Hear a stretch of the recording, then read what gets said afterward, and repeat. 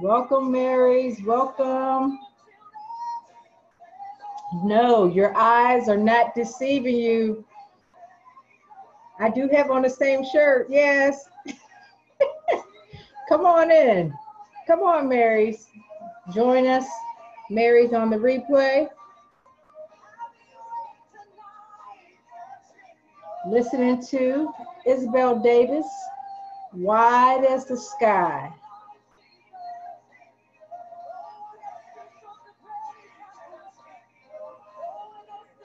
I love that how she says, Jesus, take your place. Holy Ghost, take your place. No one else is worthy. That's what we should be saying all the time. Take your place, God. Take your place, which is first in our lives.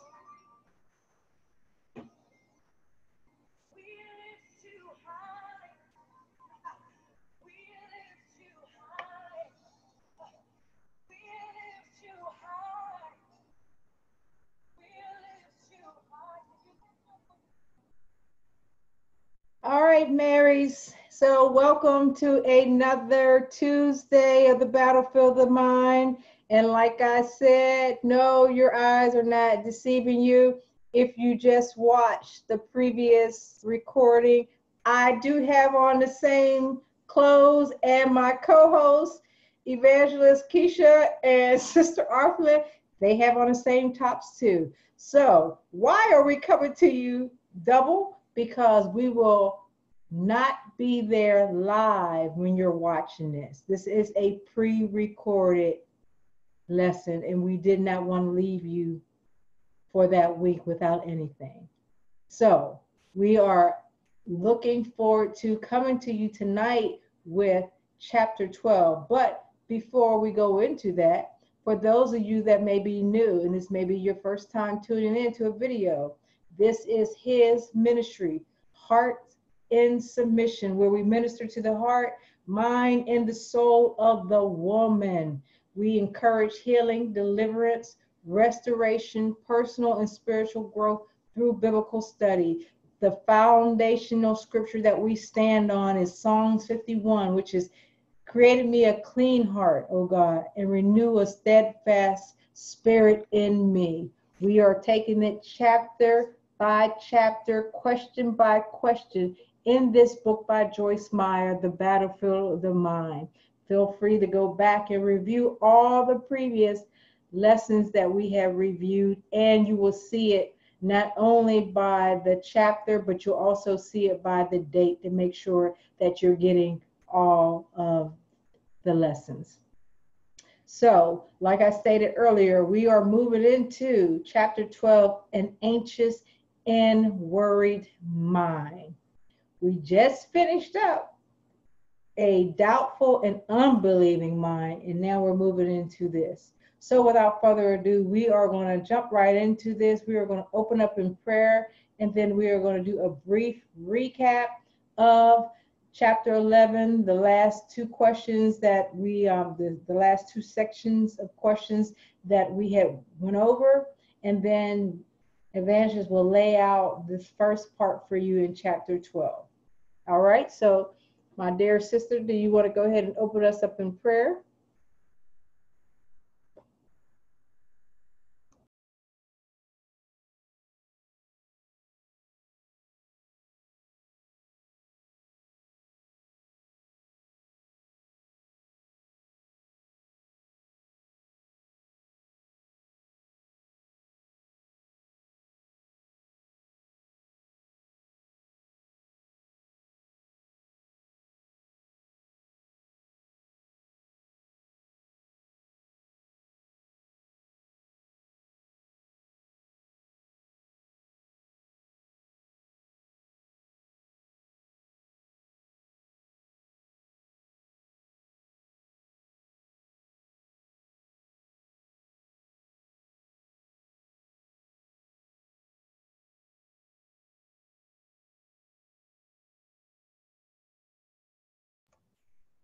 Okay, I think we're having a little bit of technical difficulty with my sister, so I'm going to go ahead and open us up in prayer. If you would just bring your hearts and your mind in for a moment. Lord, we thank you for another opportunity just to come before you, just to sit at your feet, to be Mary's, God. We just exhale from the day, Lord. We take off the cares, we take off the worries, we take over the thoughts of being overwhelmed. We take over, take off everything that may be a distraction or a hindrance, Father, in the name of Jesus. Lord, we just come to you. We repent, Father, for any sins of omission or commission, God. We ask that you will give us a clear mind, Father. Give us ears to hear your voice clearly tonight, God. Begin to reveal those things that we need to uproot, we need to pluck out, God. Bless us to be honest with ourselves and take inventory, God. Lord, bless us to continue to trust you, God, that we will continue to grow and operate in our faith, God. We thank you, Father, for loving us enough, God, to continue to correct us, to continue to set us free, to continue to give us deliverance and healing, God. We thank you, Father, for just being our Father, our strong tower. We can do nothing without you. So, Lord, we ask that you will bless each and every woman that's a part of his ministry, those that are to come. God, we thank you that they will grow spiritually. We thank you, Father, for new testimonies, new victories, God. We thank you that they are walking with their full armor of God this day, God, that it is fortified in Jesus' name. Amen, amen, amen. All right. So, ladies, let's go ahead and jump right into the recap from last week. And Sister Arthurlyn, you want to go ahead and begin the recap? Good evening, Marys. So let us go ahead and recap from last week, number eight, A through E. And the first question um, stated, according to the scripture, we as believers can enter the rest of God. But let me just back up a little bit. Um, the scripture is coming from Hebrews 4 and 11, and I'll just read that for you real quickly here. Let us therefore be zealous and exert ourselves and strive diligently to enter that rest of God, to know and experience it for ourselves that no one may fall or perish by the same kind of unbelief and disobedience into which those in the wilderness fell. And so again, 8a asks the question according to the scripture, we as believers can enter into the rest of God. And we expounded a little bit on that. Um, back in the old covenant, the Sabbath was observed as a day of rest. And under the new covenant, the Sabbath rest spoke of a spiritual place of rest where the believer can abide. And we stated that the spiritual rest that God is giving us today is the ultimate rest, where we can refuse to be worried or anxious for anything. We can just rest in Him and give all to Him. But the key thing is to believe and not be an unbeliever like those in the wilderness. So that's the question A.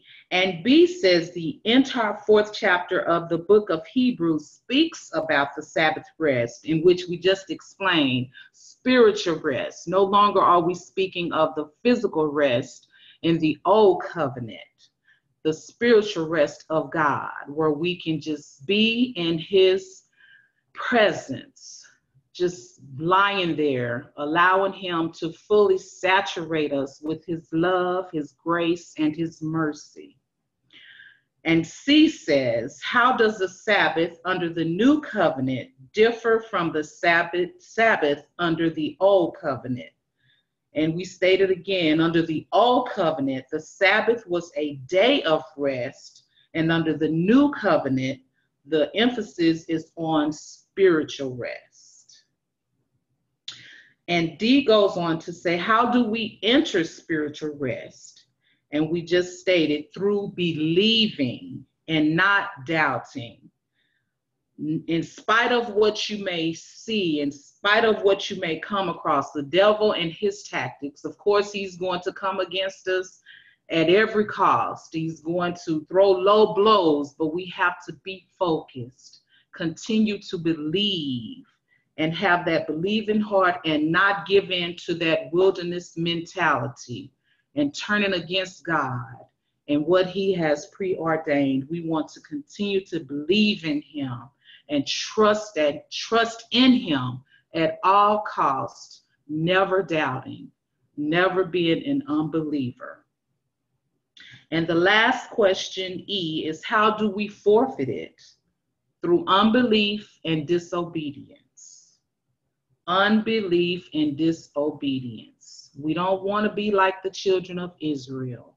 We want to continue to be absorbed in God's mercy and allow Him to give us that spiritual rest, that rest that is the ultimate rest. Nothing can compare to the rest that God can give us when we are believing in Him fully with a whole heart, a pure heart, trusting no matter what in God and all that He can and will do for us. So that covers eight a through E, and I'll give it to Minister Sarah to go through nine.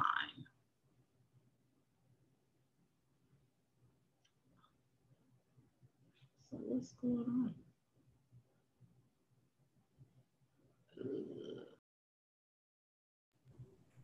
Thank you, This is.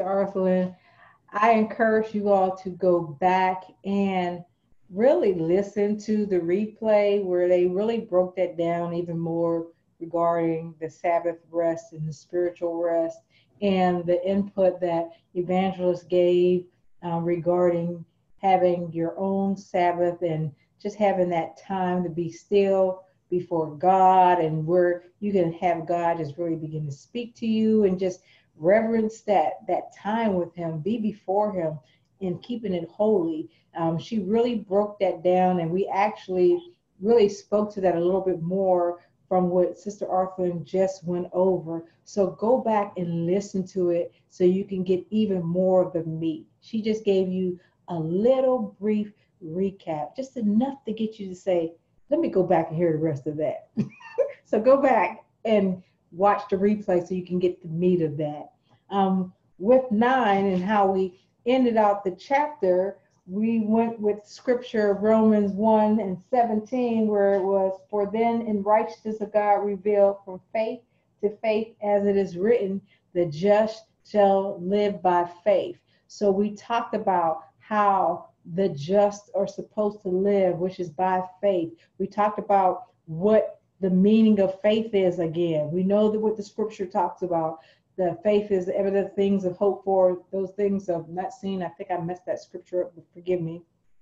But we talked about it being complete trust or confidence in someone or something, basically having complete confidence and trust in God and how we can grow in our faith. And we went over some of the examples of the different people from the Bible that were tested in their faith and how they grew in their faith and how we are to keep our eye on God like a flint. And that's how we are to live by faith.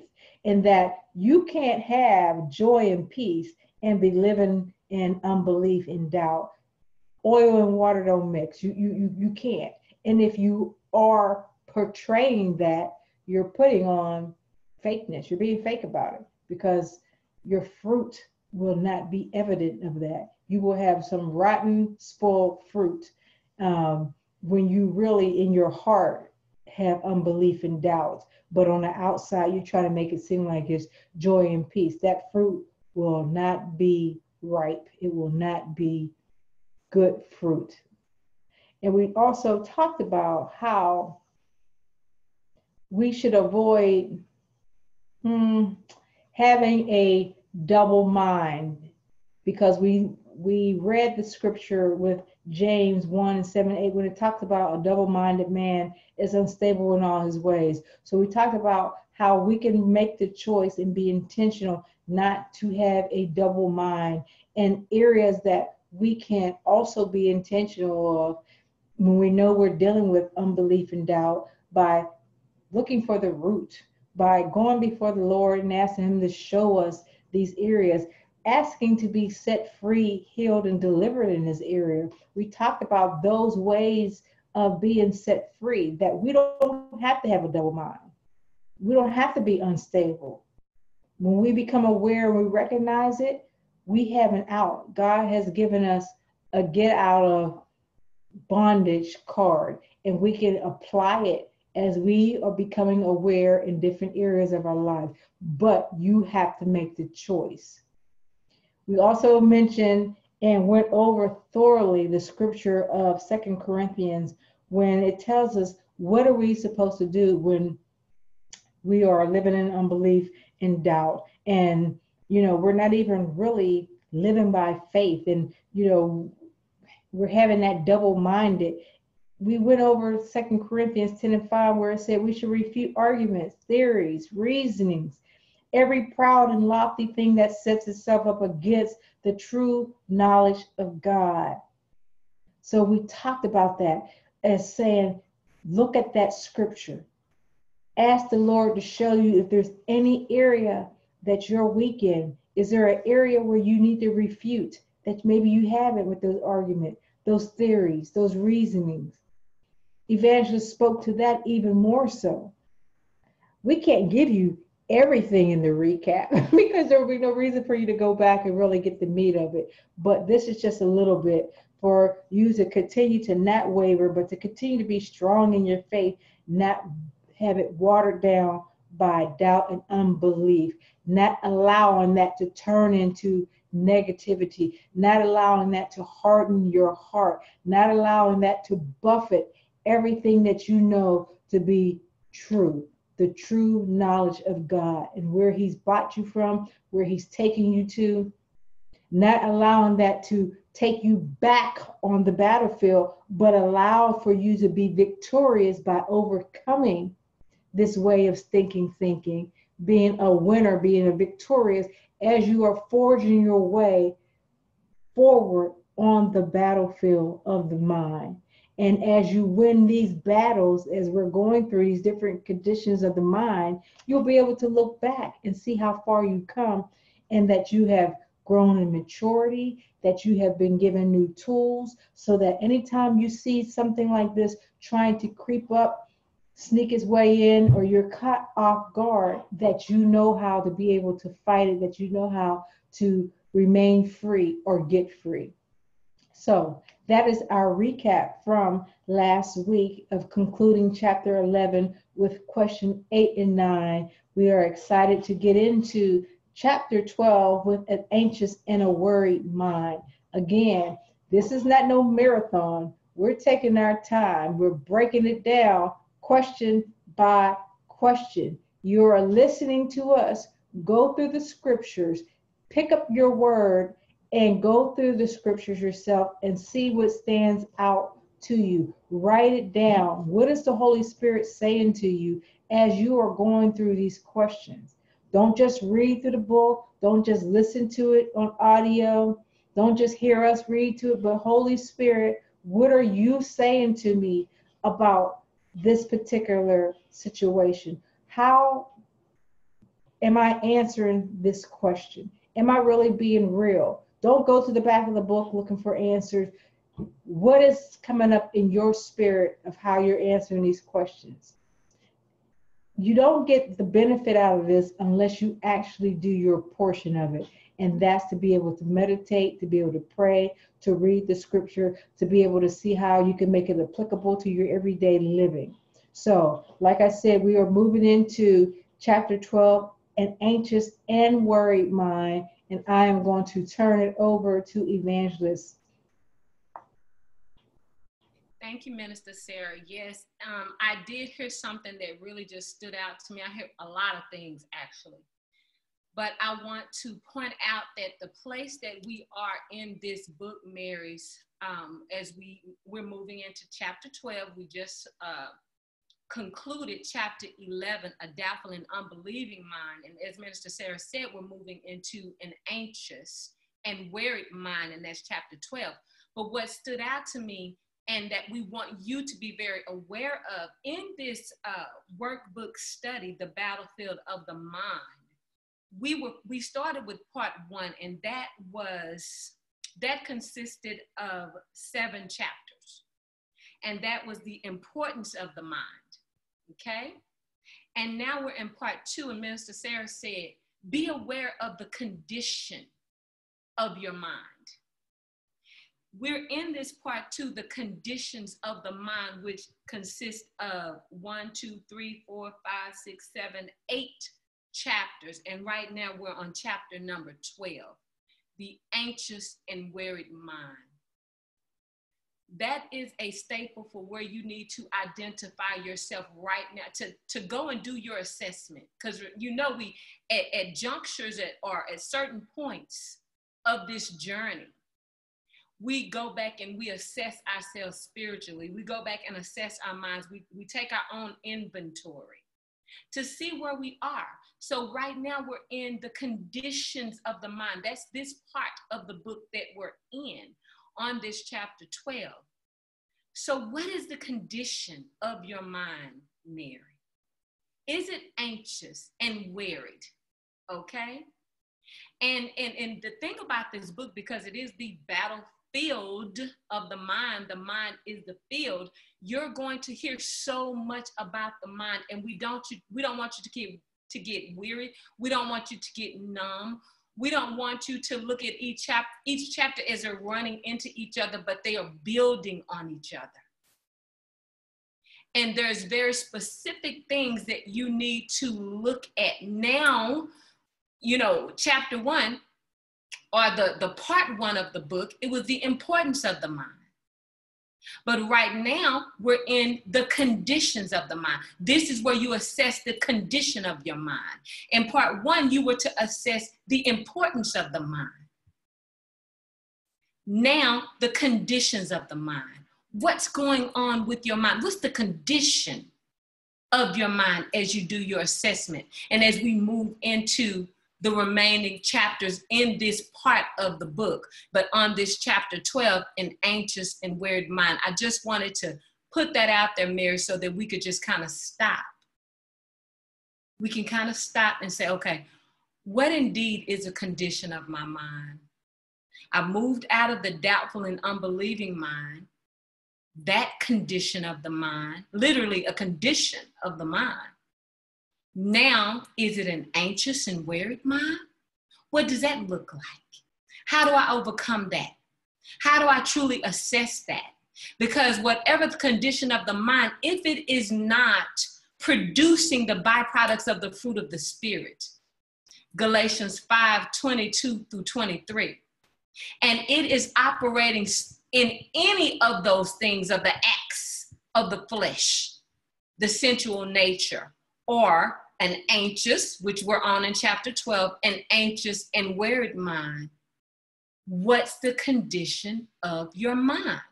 It would then be abnormal as relates to the way the Lord, the, our Father God, wants our minds to operate, our control towers. What's the conditions of your control towers? Okay, so an anxious and, and, and worried mind, chapter 12, we're on page 41 of the study guide, The Battlefield of the Mind, and we are on question number one.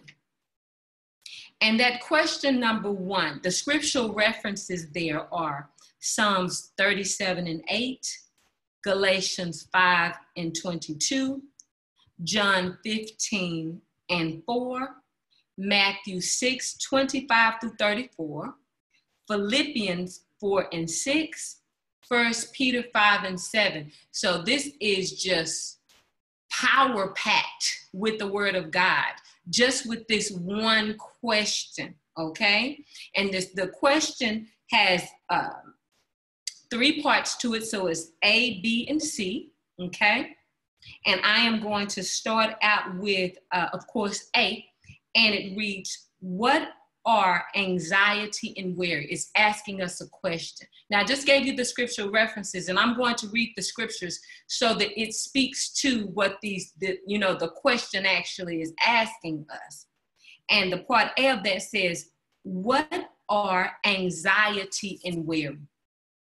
Well, attacks on the mind intended to distract us from serving the Lord. And that's what the author said. And when you think about Mary's anxiety and worry, in the beginning, you know, and throughout, we have spoken to clusters, which we call strongholds, okay? Demonic strongholds that cause us to be stagnated or operated, operate in, you know, evil forebodings or uh, mind binding spirits. And anxiety and fear are definitely steeped in, you know, the super stronghold of fear. Anxiety and worry are steeped in the super stronghold of fear. What does that look like? Because the author spoke to that question what are anxiety and worry? And she said, attacks on the mind intended to distract us from serving the Lord, okay?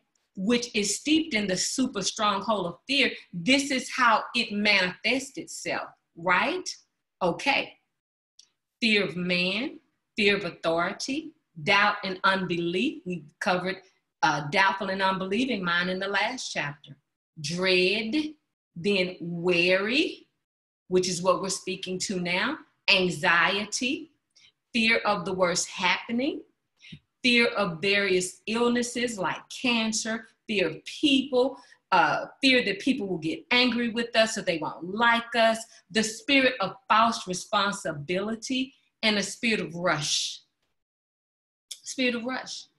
So those are some of the, the clusters that are steeped in that super stronghold of fear and of which anxiousness and worry, anxiety and worry, are some of those clusters, those strongholds that manifest themselves in mind binding spirits and evil forebodings that allows the enemy access to our minds to come in and attack our minds, which causes distraction and does what ultimately keep us from serving the Lord, takes us off task, keeps us from fulfilling our purposes and plans in the earth, the purposes and plans that God have designed for us in the earth, because ultimately it's not about us. But if He can keep us focused on us, then He can take us off task, which ultimately keeps us from serving the Lord.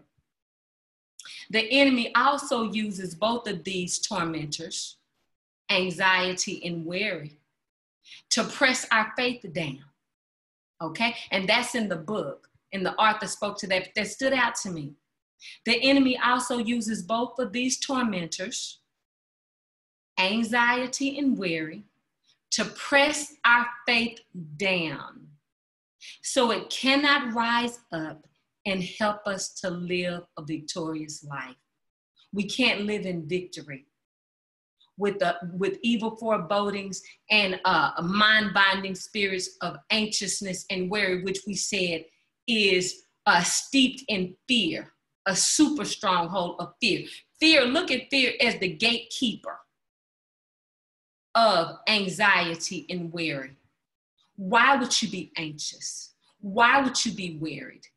Because of some of the things that were, were mentioned in that cluster of fear of, you know, a doubt and unbelief, which we talked about last on the last chapter 11, fearing the worst thing would happen, you know, fearing illnesses or so on and so forth, false responsibility. And I think that can definitely happen to us and rush. That can definitely happen to us, Marys, when we're operating as Marthas because of the responsibilities and cares of this world and others. Which is not a bad thing that we care and we love others and we want to do the will of God. But that thing can cross over and the lines can be blurred when we can't take out time to really focus on the true responsibilities that belong to us. And that is fulfilling the purposes and plans of the lord in the earth. And that thing moving over into uh being it's a burden and it's a yoke because the word says that his yoke is easy and his burden is light but when it moves from the, the Lord's yoke and his burden, burden for souls, right? The burden to see uh, individuals set free and delivered and living their best life, the abundant life in Christ Jesus, right? That's a burden, right? And it's a yoke because that yoke then keeps us on track to do those things when we're Marthas, right? But the moment that it gets heavy and hard, and our mind moves into that abnormal place of anxiety and worry because of the cares of this world, because of the cares of what we have been called to do as Marthas, then the yoke becomes heavy in, it, and it's heart. Then it's no longer the will of God. It's no longer his yoke, and it's no longer his, his, his burden. But then it is our fleshly yokes and burdens, which are false responsibility. False responsibility then can cause us to operate in anxiousness and worry. So that question said, what are anxiety and worry? Anxiety and worry, which is what the author said, attacks on our mind intended specifically to distract us from serving the Lord. Okay, now let's read the scriptures related to that. Okay, and then we'll move on to B and C. But let's just kind of touch on some of these scriptures. And that first one is Psalms 37 and 8. And that Psalms 37 and 8, and it reads, Cease from anger. Now look at that again. That, that's another stronghold. That's a cluster. That's a demonic super stronghold okay? Anger, anger in itself. The scripture, Psalms 37 8 says, Cease from anger. What is anger being a super strong, stronghold? It can manifest itself in this way because the word says, Cease from anger. It can manifest itself this way hatred, malice, rage, murder, temper, cursing, vengeance, retaliation, violence, abuse, cruelty, Satanism, unforgiveness, bitterness, being judgmental or crucial or critical, okay? being judgmental or critical, taking offense easily, irritability, anger towards men or women, anger towards mothers, fathers, I say spouses, children, on and on and on. Anger towards the responsibility that we have, anger towards authority, anger and resentment towards God. And I pause right there. So that scripture said, Psalms 37 and 8, cease from anger and abandon wrath. Do not fret, meaning be anxious or worried it only leads to evil. It only leads to evil. And this is the amplified version. Now, when we go back and it said, cease from anger and abandon wrath, he said, abandon wrath. What does that mean when we are to abandon wrath? We're to abandon it, what? Desert it. Divide by force from it. Reject it ne- neglect it, block intimacy with it. How would we do that? That means that we won't nurse it anymore. Okay? We won't we won't nurse the wrath that's seething in our hearts, that's steeped in, in, in anger and resentment and bitterness. Okay? We won't hold on to it. We won't be codependent on it. That's how we're going to abandon wrath okay? Um, we're going to end the, the, the, the negative demonic relationship with it, Okay? We're going to burn that bridge. All right? That's how we're going to abandon wrath and not fret, not fear, which can only lead to evil right? Because when you look at all of these things and these clusters that we spoke to, if those things are operating in you, there's no way that any good can come out of that. There's no way that any good can come out of anger and all of its functioning spirits that were mentioned. Okay? So it's imperative when God said abandon, right?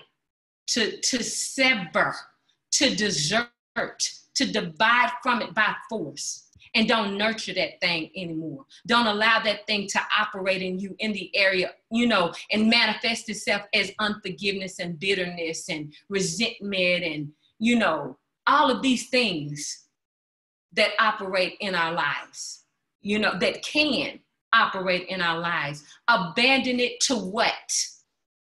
To the fruit of the Spirit, to the byproducts of the fruit of the Spirit, which is love, joy. These are the things that we need to nurture. These are the things that we need to, to make covenant with. These are the things that we need to be in relationship with within our hearts and within our minds and our spirits. And allowing the Holy Spirit then to produce those things within us because we can't do it without Him. That love, that joy, that peace, that goodness, that gentleness, that meekness, uh, that forbearance, that which is long suffering. Okay? And self control. Okay? Which are some of the fruit of the Spirit, right? That need, and all of them, all nine of them need to be manifested within us, right? Okay. And then that Galatians 5 and 22 says, and this is where we speak to the fruit of the Spirit. But before I read that scripture, let me tell you about B. Let's talk about B. And B says, What is peace? Will simply be is a fruit of the Spirit.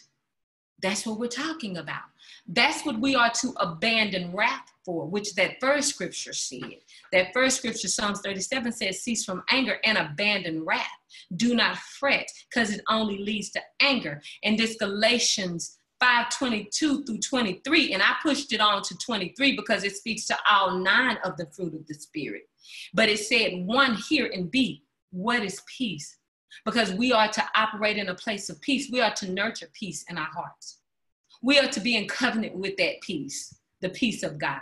We are to make the peace of God our umpire. Peace, we should operate in that because peace causes us to do what? Enter into the rest of God.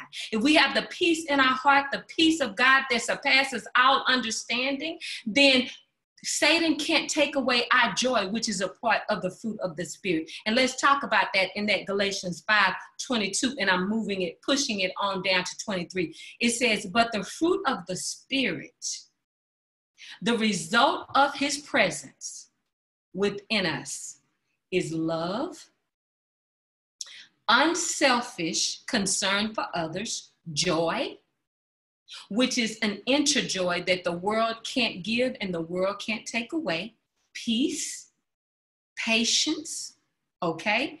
And peace and that patience, which is well, long suffering and forbearance, which is not the ability to wait, but how we act while waiting. That's that forbearance. That's that long suffering. That's that patience not the ability to wait, but how we act while waiting. Kindness, goodness, faithfulness, gentleness, and self control.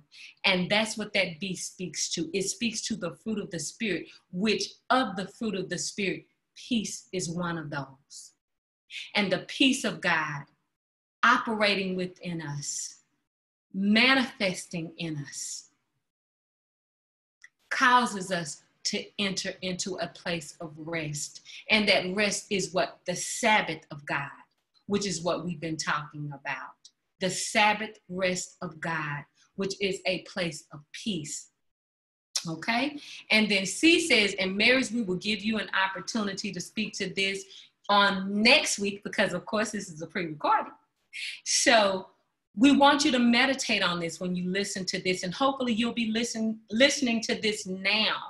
And you're in a place where you can then go over it and meditate on what's being said to you so that on next week you'll have something to share about it as the Holy Spirit permeates your heart and you practice that place of peace and that place of peace being the Sabbath rest of the Lord.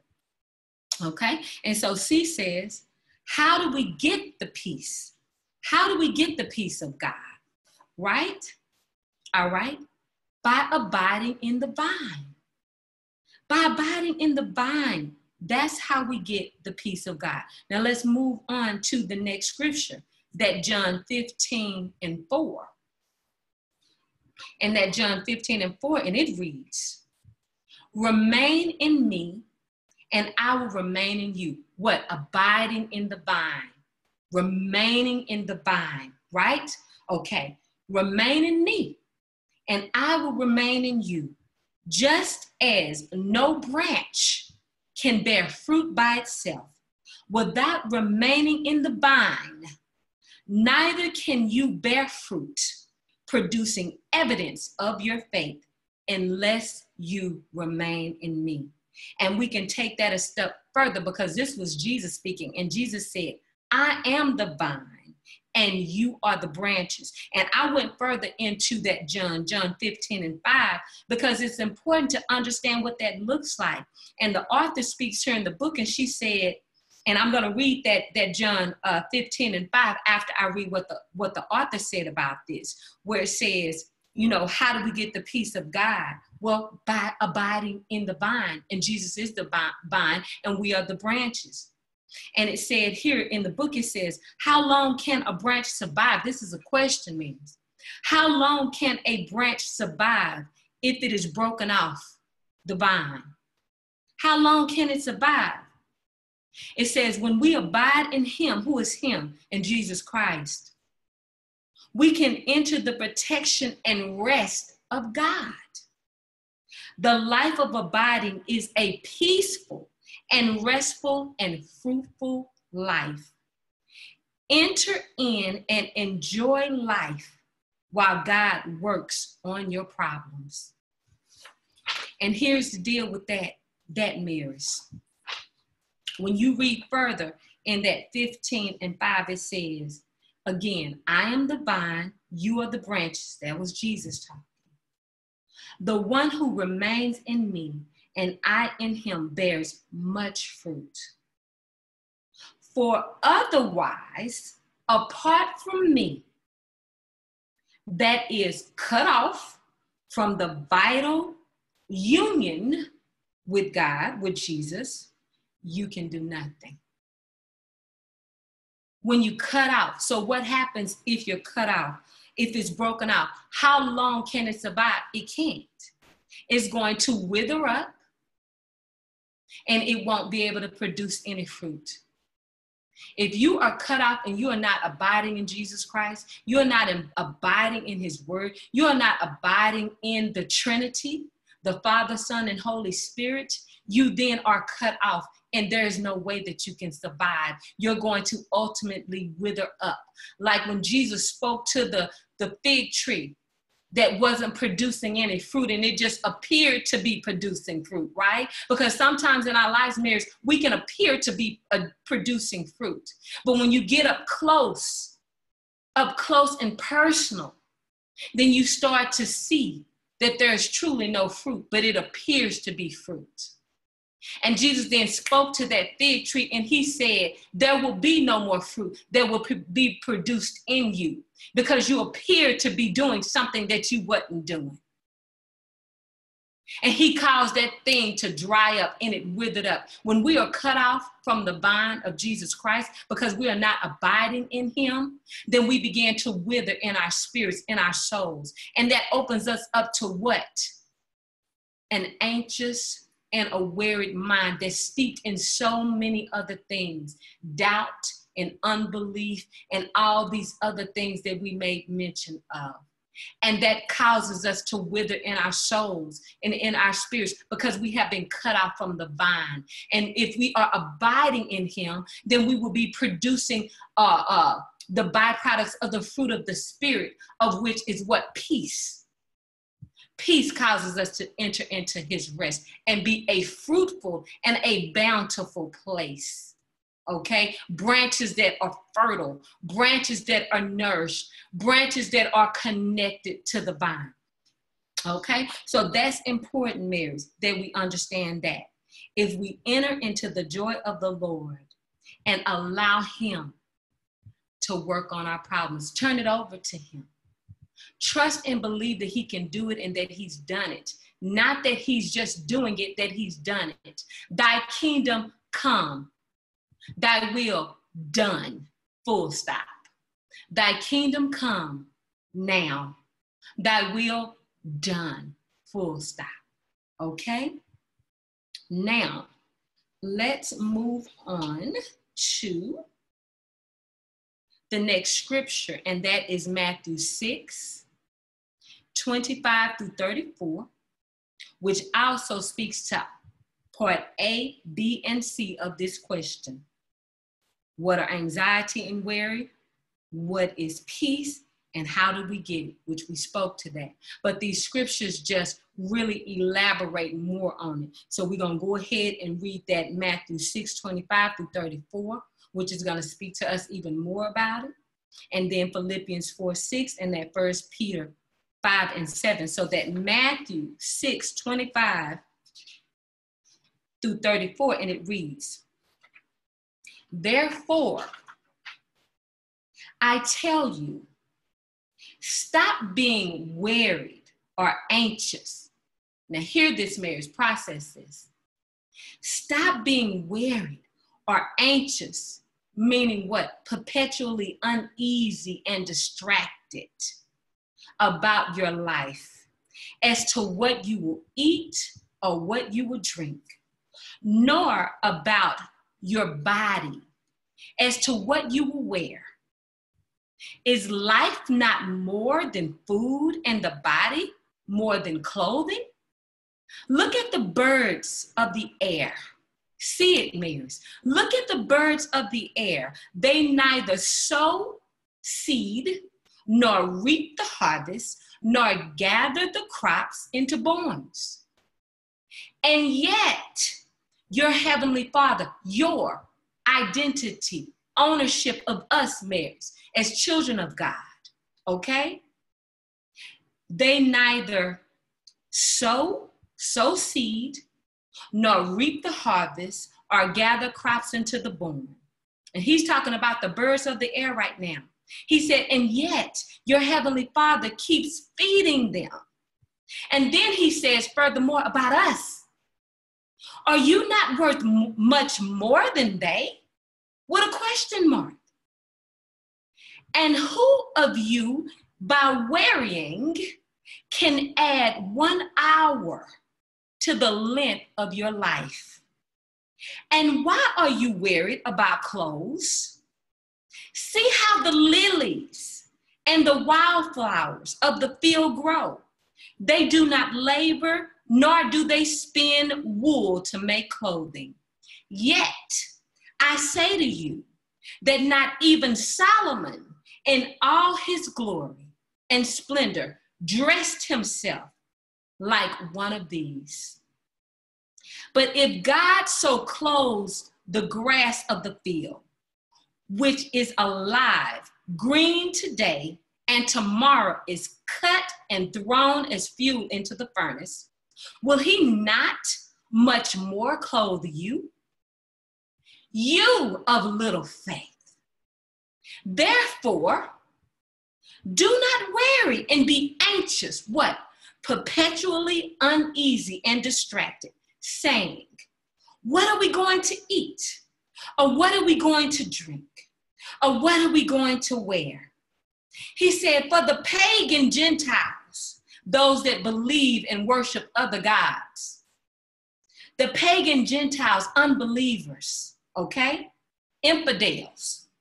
The pagan Gentiles eagerly seek all these things. Therefore, Marys, we are to be separated. We are to be set apart.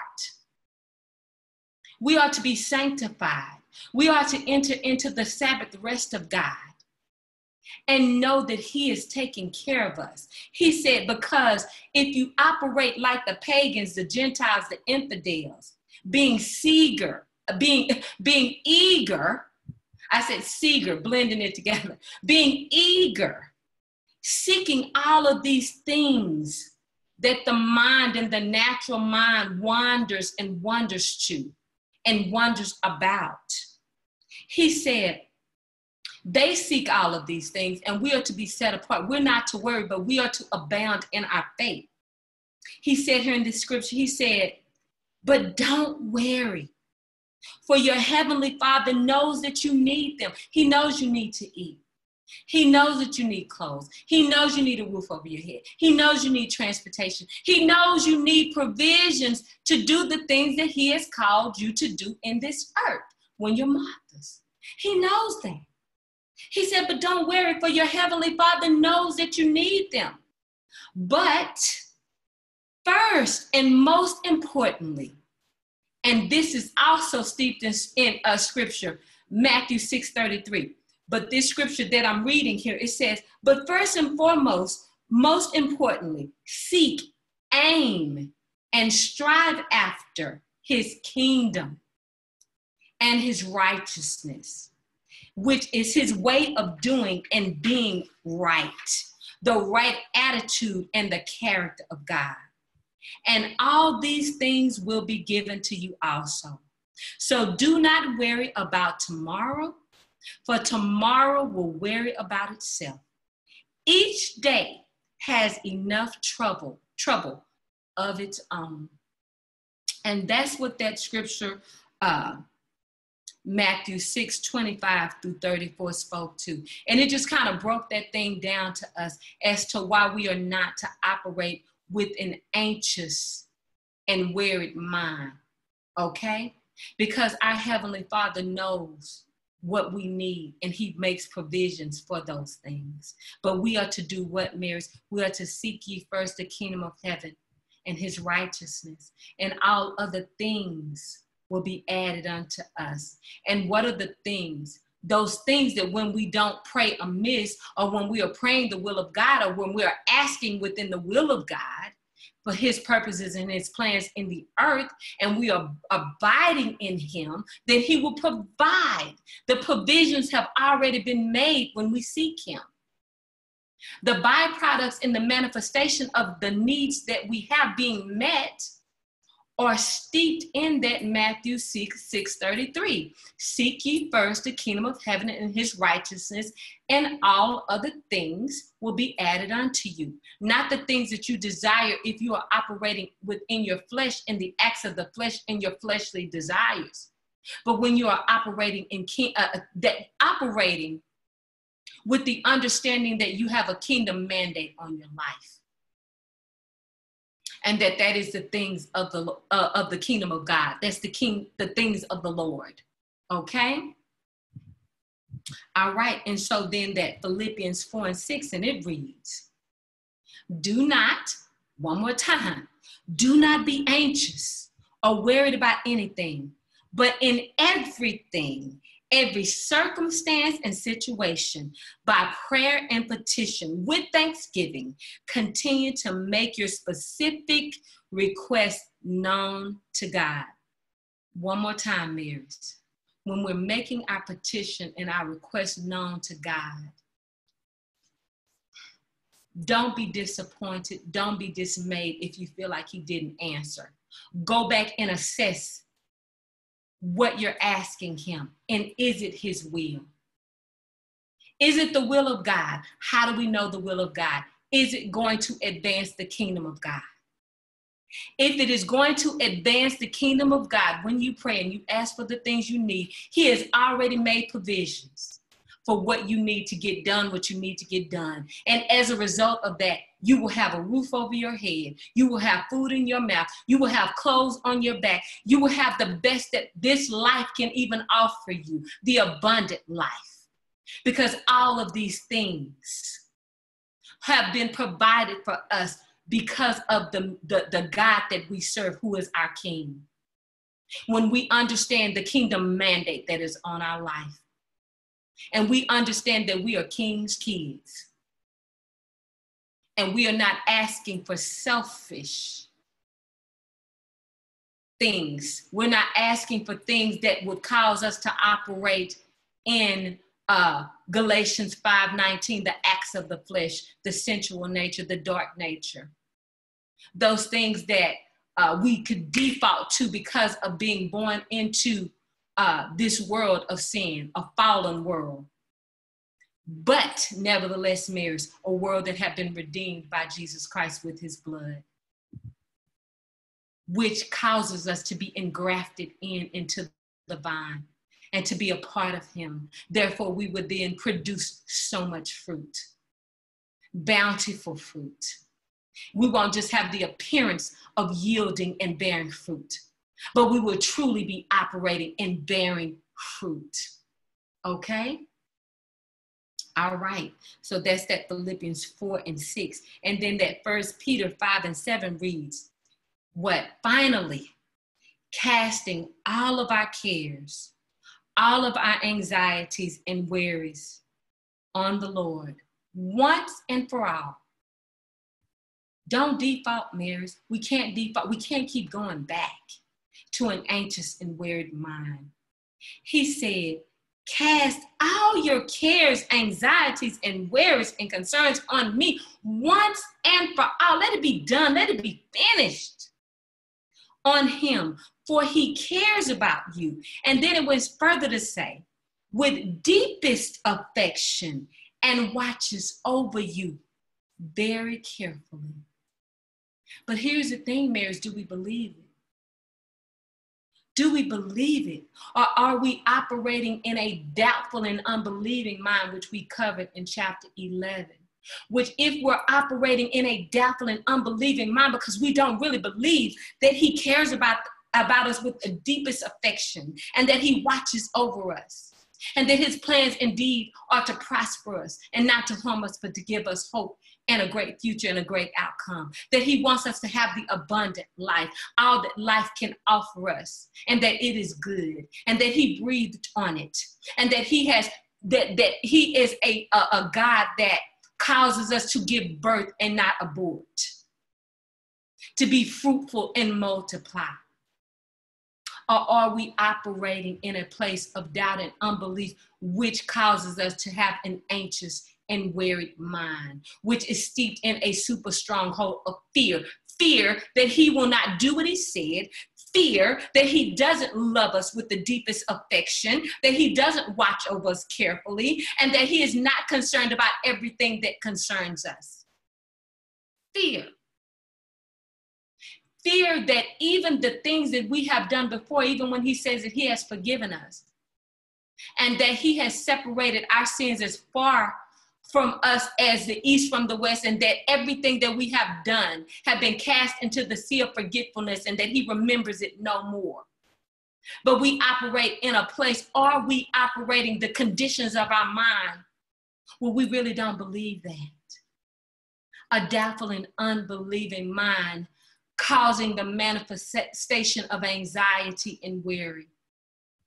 So he said, once and for all, once and for all, once and for all, Marys, once and for all, once and for all, once and for all, Marys, let's do it together. Once and for all, let's cast all of our cares on him all of our anxieties, our worries, and our doubts, and our unbeliefs, our concerns once and for all on Him because He does. He does care for us with the deepest affection. And He's watching over us. So, once and for all, let's enter into the Sabbath rest of the Lord. Let's enter there with peace as a byproduct of the manifestation of the fruit of the Spirit. That is a part of the gift that He has given us. Because the Holy Spirit abides in us and we abide in the vine of Jesus Christ and we won't let go. And we refuse to be cut off because of an anxious and wearied and unbelieving mind, Marys. Okay? So that's that. All right, so now let's move on to question number two. And we're to conclude with that question number two. And the scripture reference is Matthew 6 25 and John 10 and 10. And it has a part A and a B to it. And the question says, according to these verses, and we're going to go and read the verses, Marys, but it says, according to these verses, that Matthew 6 25 and John 10 and 10, how is life intended to be? How is life intended to be? Well, the author said life is to be of such high quality that we enjoy it immediately. There is no delay. That life in Christ Jesus, a life that is steeped in Christ Jesus, in that Matthew 6, 6 33, will produce an abundant life. And it will produce a life that where provisions have already been made for us and there is no delay. But it is now. Thy kingdom come, thy will done now. Thy kingdom come now, thy will done now. It is not something that is uh, deferred into the future. But life is to be of such high quality that we enjoy it now, right now, Marys, right now, immediately. Okay? And that part B says, why does Satan attack us with worry? Why? Because he comes to steal, kill, and destroy. That's what he does. And that's in essence that John 10, 10 and 10. To steal our life from us. Satan attacks us with worry and anxieties because he desires to steal our life from us. Why? He's just simply doing his job. Okay, so let's read that scripture and what that scripture says about it, which it just said it. Okay, Matthew 6 25 reads, Therefore, I tell you, stop being weary. Here we go again. Therefore, stop being worried or anxious, perpetually uneasy and distracted about your life as to what you will eat, what you will drink, nor your body as to what you will wear. And then is life not more than the body and clothing? Okay? It says what? Is life not more than food? And the body more than clothing. And that John 10 and 10 says, What does the enemy come to do? The thief comes only in order to steal and kill and destroy. But then I took it a step further in that. This is what we are to, to, to make sure that we understand. This right here, this is where we pause because we understand now what the enemy comes to do, right?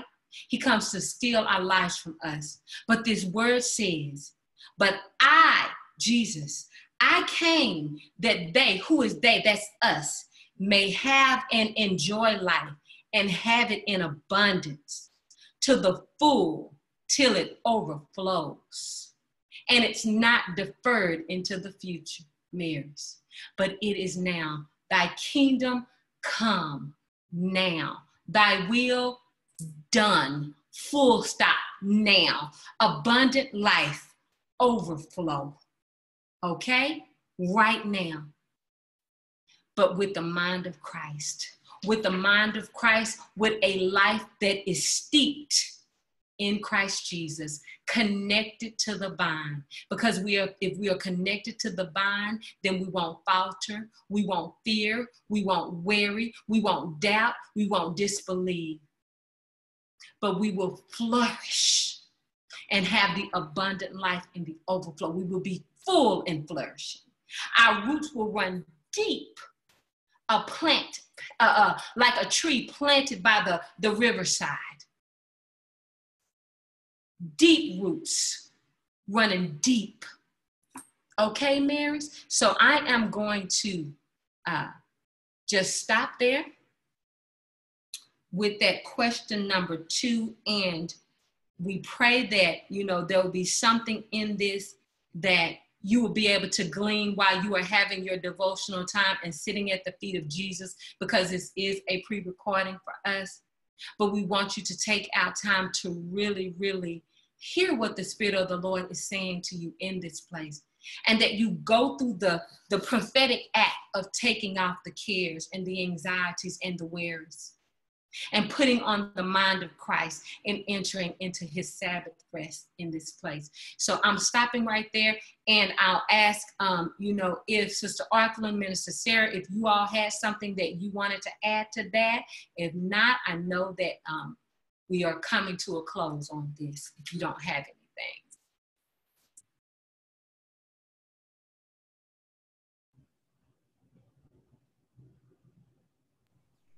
Wow there is so much packed in that. I mean, I'm gonna have to go back and listen to that again because you were you were hitting it. you were hammering it. And even though you were going through the scriptures and breaking it down, there was just so much packed into that evangelist. Like I don't even know where to start because it was a it was it was a lot to actually chew on and meditate on and as you kept repeating the piece about, you know, be anxious for nothing, you know, do not worry, and the reminder of if God will take care of the birds, if you look at them, like the author said, and observe the birds, like they run around like they don't have a care in the world. Like they don't worry about if they're going to get food. They don't worry about if something's attacking their nest. They don't worry about it. If He will take care of the birds and we are his beloved, we are his children, then we should automatically expect that. If we are going to worry, then why pray? There's a song that says, um, pray and don't worry. But if you're going to worry, then why pray?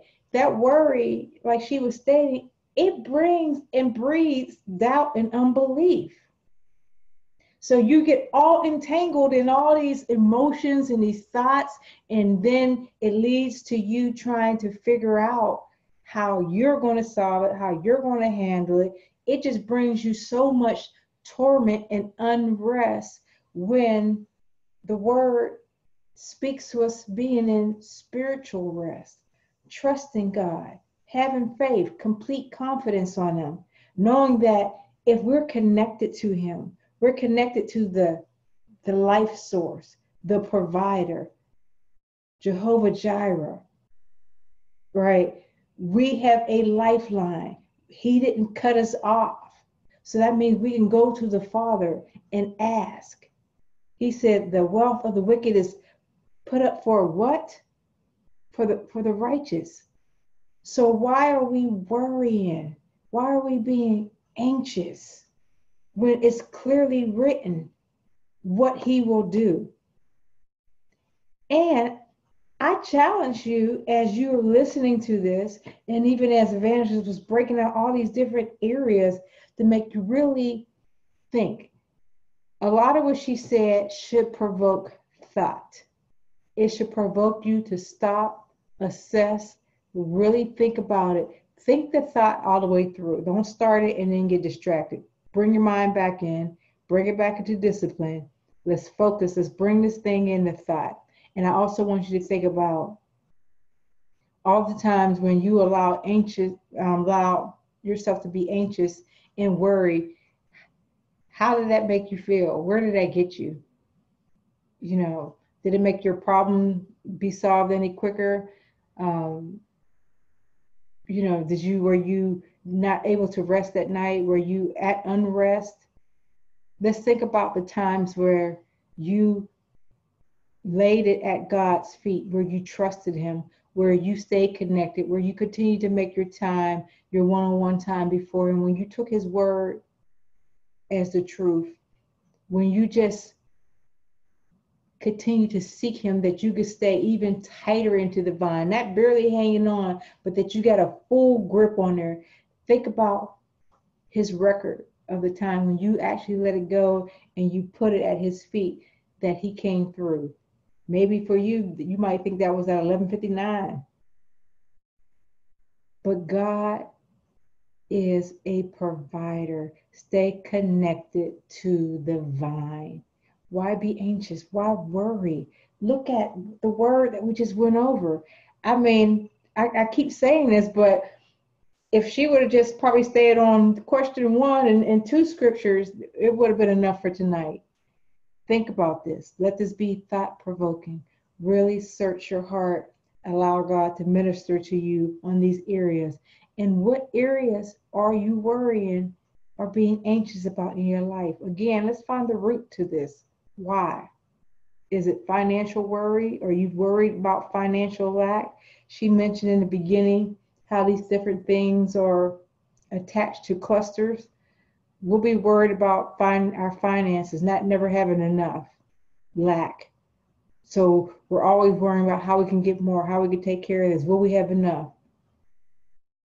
That's not an abundant life. Because if we're always worrying, we're always having our mind filled up with those things, that just gives the enemy an opportunity to get in the driver's side and continue driving because it keeps you distracted from the word of God. It keeps you distracted from your God given purpose. It keeps you from cultivating an even closer relationship. It keeps you from growing in your faith. It keeps you from growing in trust. It keeps you from maturing in the things of God because it keeps having you fall back to old patterns, old ways of thinking, old habits. So decide today that you want to no longer be anxious in these areas and that you're going to look at the root and ask God to show you, okay, I see this is the main root. What else is connected to this? Because this is this is just occupying too much of my time. This is draining. This is wearing me out. I'm tired of this.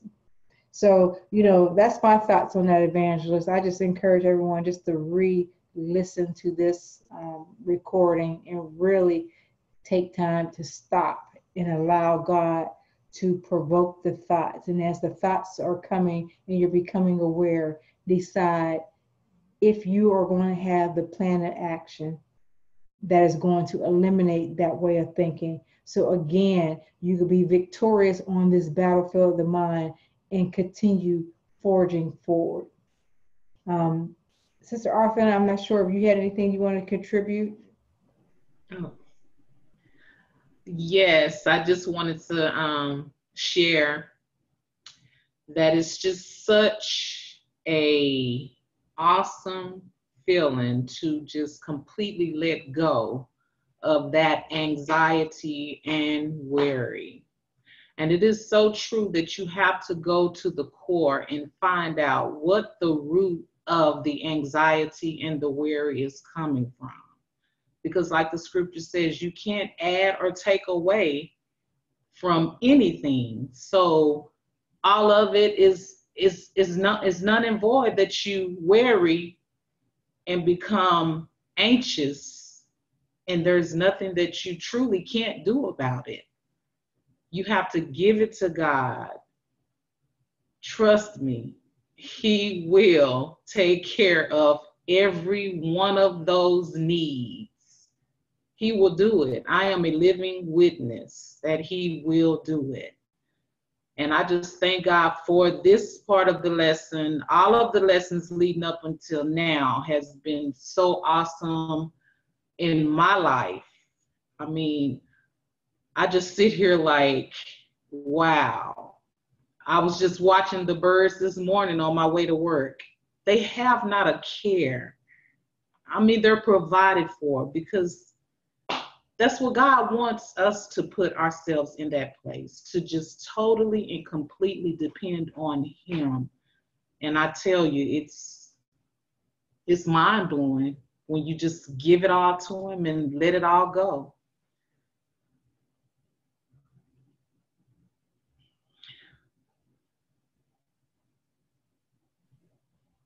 Amen. Glory to God. I mean, yeah, I mean that that is really what it is.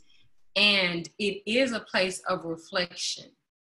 It's a place of reflection. It's a place of, you know, self analysis. This is a good place, Marys, for us to take our inventory, to do an assessment of ourselves in our minds and the conditions of our minds.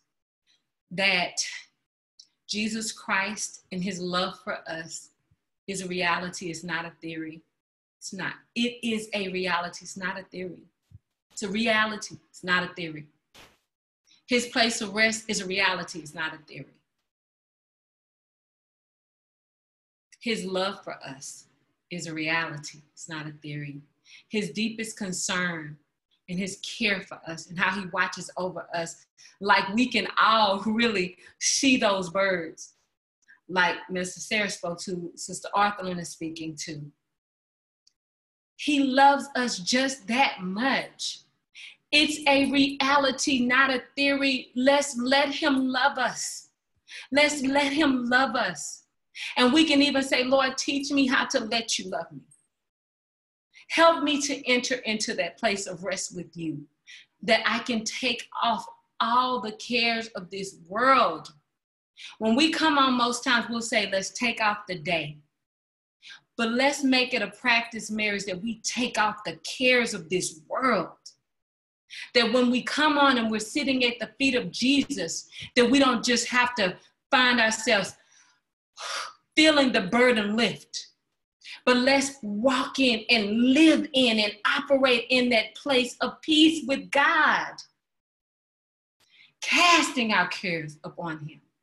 Because indeed He cares for us. Lord, we want to believe it and we want to trust that what you say is true. Help our doubtful and unbelieving mind. There's a scripture that says that. Lord, increase our faith. Increase the faith that you've even given us because our faith can grow. It can. It's a gift from you. So, Lord, we thank you for this opportunity tonight. We thank you for this place of Sabbath rest and that you're teaching us how to sit at your feet and just be. Just be. All right. Thank you, Lord. We thank you, Father. So, what we're going to do in this place, right where we are, we're going to give you an opportunity, Marys, future Marys, those of you that received this Bible study in your news feeds, in you know, your YouTube, and it was in a lineup of messages because you've been listening and listening and listening. We want to give you an opportunity right now to receive Jesus Christ into your heart as your Lord and Savior. We want to give you an opportunity to cast your cares upon Him and know without a shadow of a doubt that He cares for you because you want to be engrafted in and abide in the vine. You want Him to take ownership of you and take care of you just like He takes care of the birds of the air. You want to turn your life over to him so that you can you will no longer operate in a place of anxiety and fear and worry and doubt. Every demonic stronghold that have been guarding the gates of your heart and your mind you can turn it over to him right now and know that he is god and that he indeed cares for you Deliverance from all of these things are the children's bread. This is your opportunity to become a child of the high, the most high and living God. If you don't know him, this is your opportunity to know Jesus Christ and invite him into your heart to be your Lord and Savior.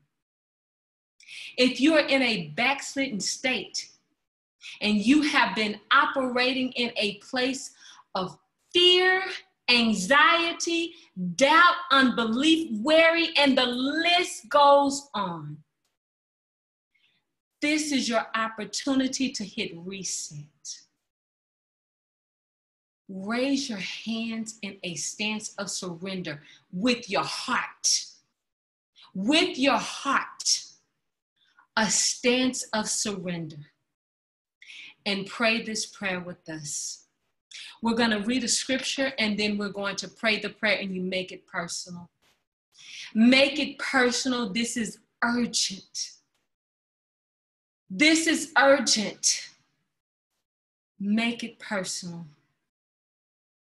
Open up your heart to receive Jesus Christ into your heart as your Lord and Savior. Hit reset, come back into the fold.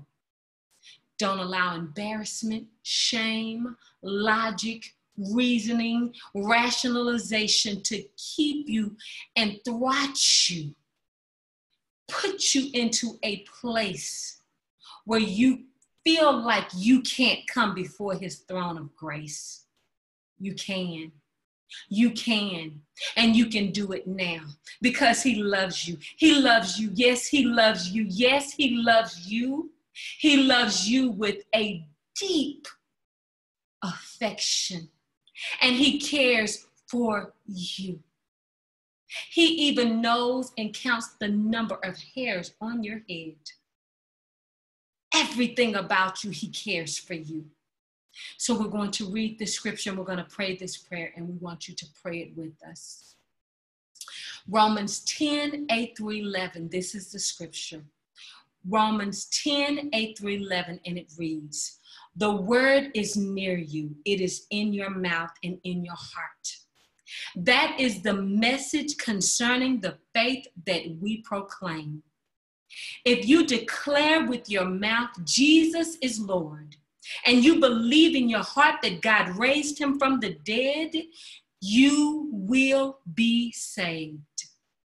But it is with your heart that you believe and are justified. And it is with your mouth that you profess your faith and are saved. As the scripture says, anyone who believes in him will never be put to shame. Anyone, anyone, anyone who believes in him will be never put to shame. Now pray this prayer. Father, in the name of Jesus, I come before your throne of grace in a stance of surrender with a repentant heart. I confess my sins and ask earnestly that you forgive me and cleanse me of all unrighteousness. By confessing my sins and asking for forgiveness, clears all legal ground that the enemy had against me. Jesus, I surrender my life to you. I believe that you died on the cross of Calvary, and on the third day you were raised from the dead. I believe that you transcended into heaven and now sitting at the right hand of God, making intercession for me. I believe that your blood paid for my sins, giving me the free gift of salvation and eternal life. I accept that free gift and I ask, Holy Spirit, that you would come into my heart and take up residency within me. Fill me with your love, with your truth, with your light, and with revelation. Thank you, Jesus, for the benefits imputed to me because of what you did on the cross of Calvary, granting me full access to the kingdom of God. Now, I as well am seated in heavenly places with you, Father God, for the rest of my life. In Jesus' name I pray.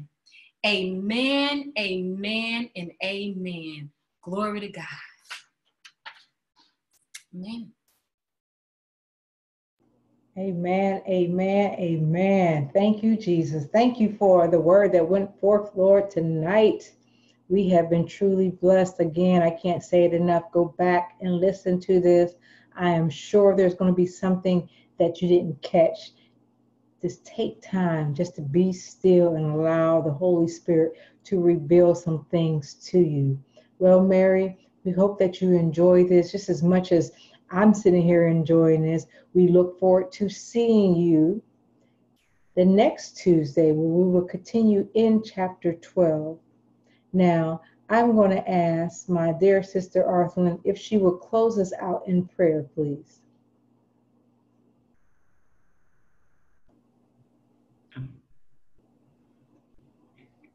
Our Heavenly Father, we thank you, Lord God. We thank you, thank you, thank you, Lord God, for this lesson, Lord God. We ask and pray, Lord God, that we would just lay down everything, Lord God, that so easily besets us, Lord God, that keeps us, Lord God, from entering into your presence, Lord. We ask and pray, Lord God, that you would just release our minds, Lord God, and our hearts, Lord God, from the cares of this world, Lord God, that we would totally, completely surrender all to you, Lord.